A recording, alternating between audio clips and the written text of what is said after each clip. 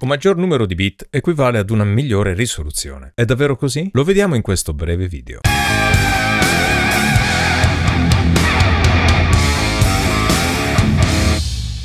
Tra i vari miti che popolano il settore della produzione audio, ce n'è uno che merita una particolare attenzione, ossia che una maggiore profondità di bit, quindi un maggior numero di bit, equivalga ad una migliore risoluzione, una migliore definizione audio. Per cui che 24 bit suonino meglio di 16 bit e che 16 bit suonino meglio di 8 bit.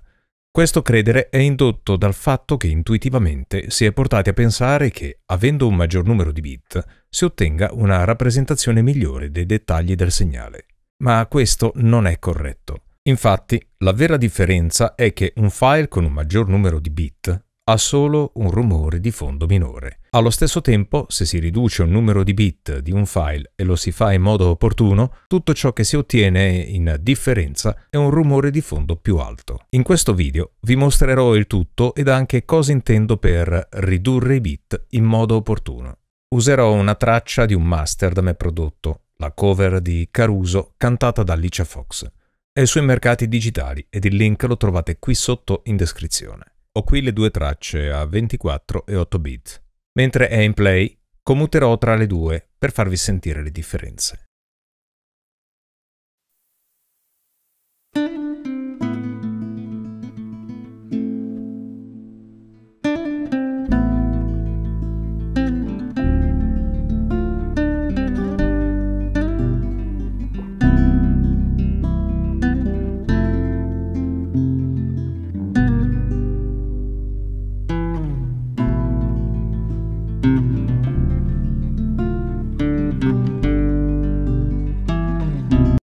Quello che sentite è l'aumento del rumore di fondo. Il file a 8 bit l'ha più alto.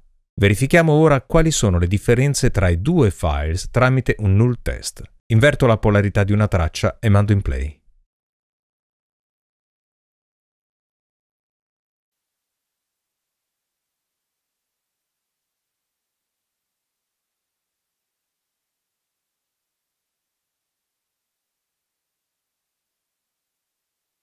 Tutto ciò che si sente è rumore di fondo.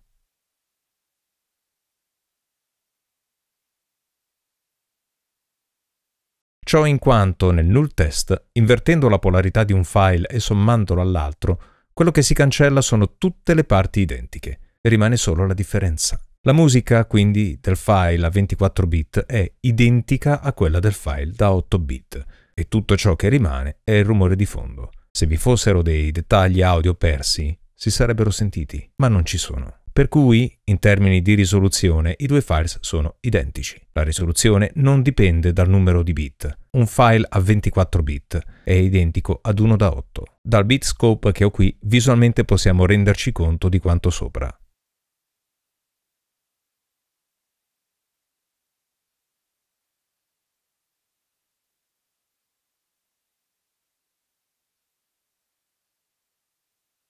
Abbiamo sentito quindi soltanto il rumore di fondo. Come ho detto all'inizio, lo si ottiene solo se si esporta il file in modo opportuno. Cosa vuol dire? Vuol dire se si aggiunge del dither, ossia si aggiunge artificialmente del rumore prima di esportare il file ad un numero costante di bit, 24 o 16 o 8 che sia. Il dither rende casuale l'errore di quantizzazione, garantendo di perdere soltanto del rapporto segnale-rumore e non i dati utili, quelli musicali. Vi mostro ora cosa succede non utilizzando il Dither.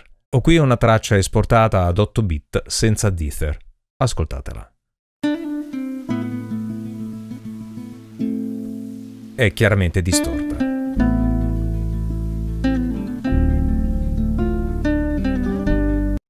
E solo in questo caso si è persa della risoluzione del file, ma solo perché l'export non è stato fatto correttamente, è stato fatto senza Dither. Ora ne faccio il null.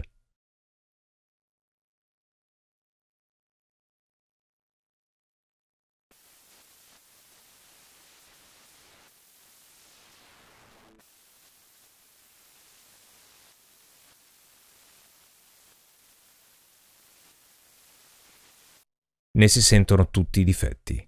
Attenzione, il dithering non va usato quando si cambia il campionamento ma solo quando si cambia la quantizzazione, ossia il numero di bit, da virgola mobile a valor fisso, ad esempio da 32 o 64 bit float a 24 bit o a 16 bit, e quando si scende in quantizzazione, ad esempio da 24 bit a 16 bit. Ricapitoliamo quindi.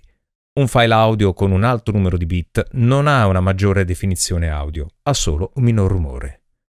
Quando si esporta il file definitivamente a 24 o 16 bit, si deve aggiungere il dither.